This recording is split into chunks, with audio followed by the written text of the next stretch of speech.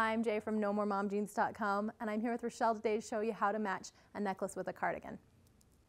Now when you're wearing a cardigan, it leaves a lot of open space around your neck, which makes it perfect to wear with a lot of different styles of necklaces. Two really specific styles are a long necklace and a short necklace. Now if you're wearing a long necklace like this one, you want it to fill in this V space right here. And it's okay if it lays right over your shirt because you really do want the interest up around the neck. The great thing about a cardigan like this is that it elongates the face and it really accentuates the neck and the chin area. Now, if you really like a cleaner look, you could go with a shorter necklace. A shorter necklace fills in the space right on the skin and won't lay on the actual sweater at all. So when you wear a necklace like this, it really has more of a choker effect, which will shorten the neck, but it does add a lot of interest around the neck as well. Altogether, you can wear a variety of different necklaces with a cardigan. Just make sure that it doesn't dip any lower than where you've buttoned the cardigan.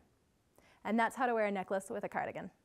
I'm Jae from NoMoreMomJeans.com and we'll see you next time.